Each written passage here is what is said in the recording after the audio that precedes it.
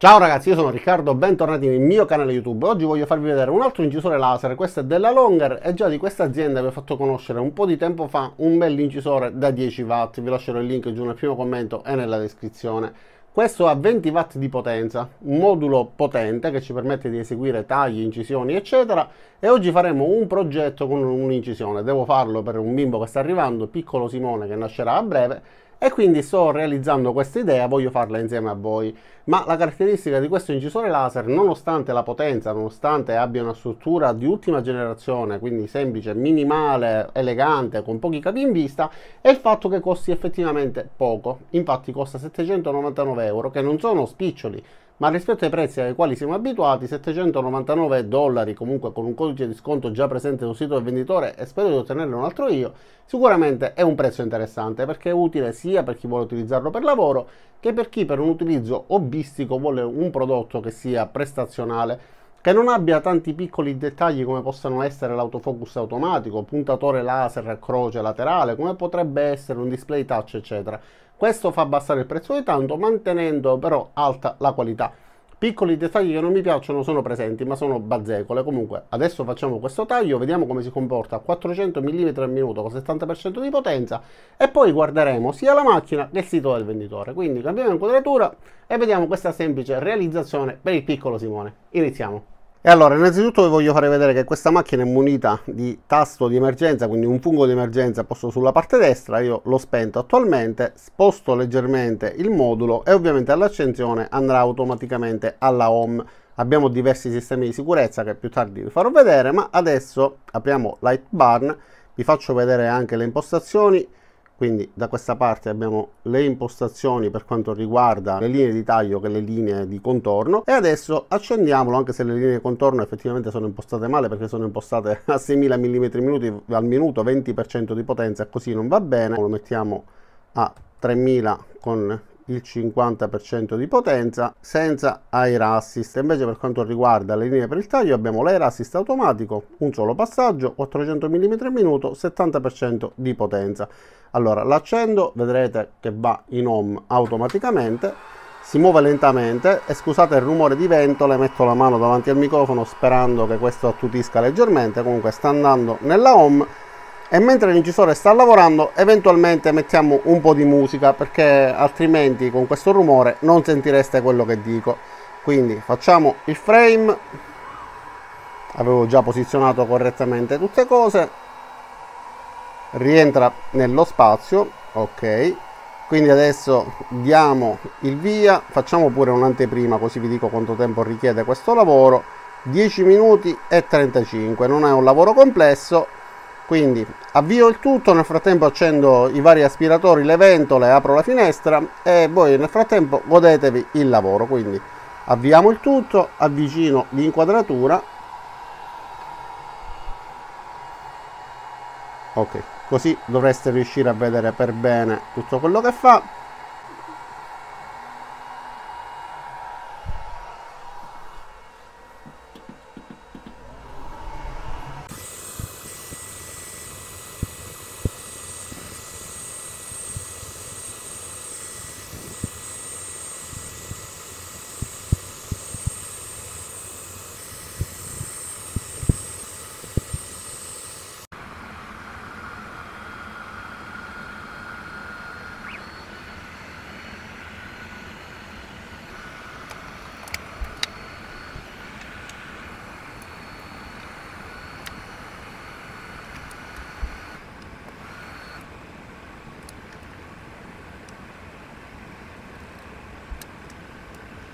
e allora quindi come avete visto è riuscito a tagliare molto facilmente con 400 mm al minuto 70% di potenza.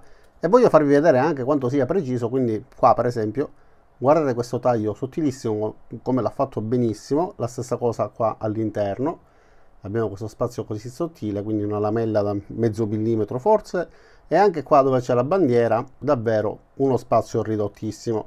Ora essendo tutto semplicemente poggiato mi occuperò della colorazione, quindi utilizzerò bombolette spray, eccetera, ma vi farò vedere il lavoro direttamente finito dopo averlo anche incollato. E ora, immancabile come sempre, la prova su questo pezzo da 16 mm e mezzo proveniente da un bancale. Non so quanti passaggi siano necessari e quindi come sempre farò una prova eh, dando delle impostazioni con 200 mm al minuto, 90% di potenza, 10 passaggi con air assist e staccherò quando capiremo che il pezzo sarà caduto giù quindi preparo il file e iniziamo. E allora vi faccio vedere l'unica cosa che non mi piace di questo incisore laser cioè la regolazione tramite questa rotellina che è un po' piccola da raggiungere. Non è impossibile però se fosse stata un pochettino più lunga sicuramente sarebbe stato meglio. Comunque va svitata dopodiché si solleva il modulo scorre quindi in un binario si mette il pezzo che vogliamo incidere oppure tagliare qua sotto e per mettere a fuoco dobbiamo abbassare questa parte che è magnetica. Ho notato un particolare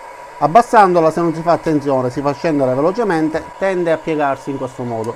Quindi una cosa che va fatta con attenzione. Si richiude, la procedura di per sé è facile, però ripeto, avrei preferito se fosse stato un pochettino più lungo. Lo sollevo. Nel frattempo i più attenti si saranno accorti che sono stato in grado di ferirmi dandomi una coltellata. va bene dai, quindi facciamo di nuovo il frame siamo lì va bene lo spostiamo leggermente. Ok avviamo il tutto. 10 passaggi 200 mm al minuto 90% di potenza.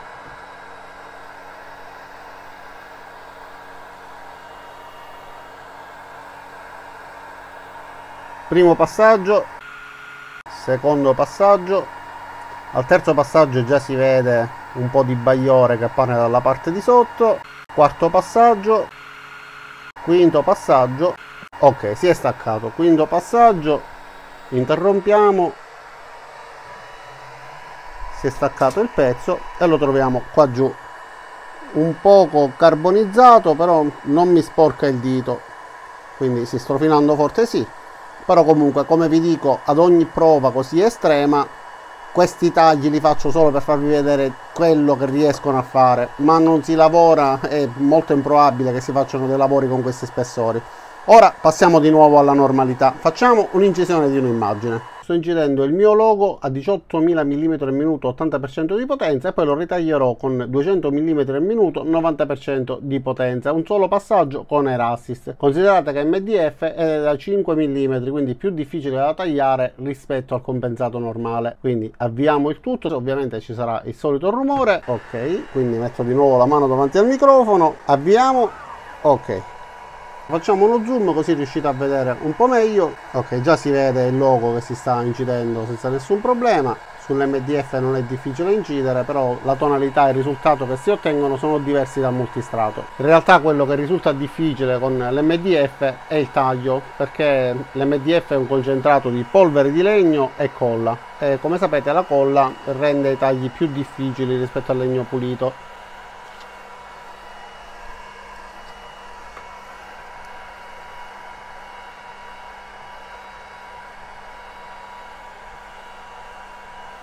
ha praticamente finito il riempimento adesso farà il taglio con l'attivazione automatica dell'Erassist e poi voglio fare pure un'altra prova.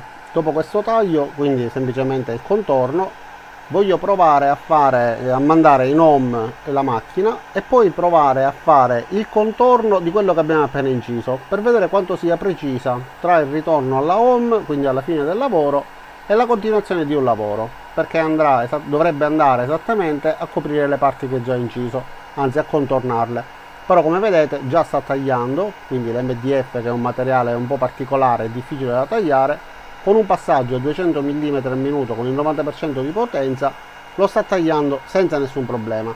Non ho fatto le prove con altre potenze però riesce tranquillamente in questo modo. In teoria anche aumentando un po' la potenza aumentando un po' la velocità dovrebbe riuscirsi senza problemi ok adesso andrà alla home quindi riduciamo un pochettino la zoomata.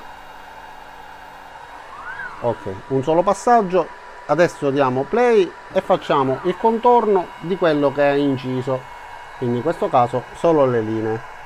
E già guardando in questo modo vedo che sta andando esattamente dove deve andare quindi a coprire a contornare la scritta e tutto quello che abbiamo fatto Va bene, lo vediamo al lavoro finito, acceleriamo l'inquadratura e godiamoci il lavoro alla fine.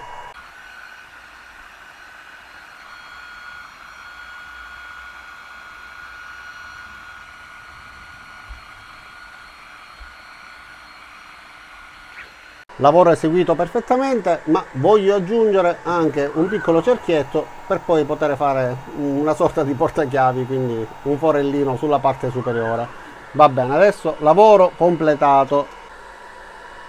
Allora nello staccare il pezzo mi sono accorto che da una parte ha tagliato benissimo dall'altra parte invece no. È rimasto un po' di materiale va bene quindi questione di impostazioni. Eventualmente riducete leggermente. Questo cerchietto invece questo pallino lo ha tagliato quasi del tutto quindi basta spingere. Ok. Staccato va bene dai come risultato mi piace. Peccato per queste piccole parti che non è riuscito a staccare ma l'MDF è un po' traditore. Comunque come tipo di taglio va benissimo eventualmente due passaggi con una velocità un pochettino più alta e saremmo riusciti a fare un lavoro sicuramente più pulito. Però così già mi piace tantissimo. E te pareva io guardando non me ne sono accorto colpo d'occhio però effettivamente manca un pezzo di M quindi nel file non l'ho inserito e quindi ho un logo un po' monco manca, manca una gambetta va bene. Però per il resto come vedete ha centrato perfettamente tutta l'incisione quindi è andato benissimo e come incisore è molto preciso.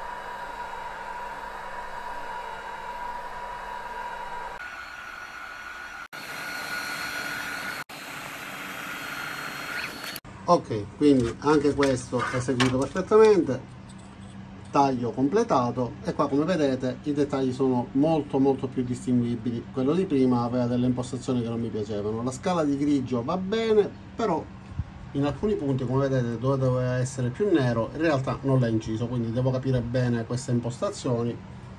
Qua era venuto estremamente chiaro. Questo invece va bene però c'è qualcosa sulle impostazioni che devo studiare per bene probabilmente ho sbagliato io però è giusto che eh, essendo sempre sincero e leale nelle recensioni vi faccio notare che c'è questo dettaglio e questa parte qua sopra doveva essere più scura e invece non lo è. Però per quanto riguarda i dettagli sono stati incisi bene e la scala di grigio va bene.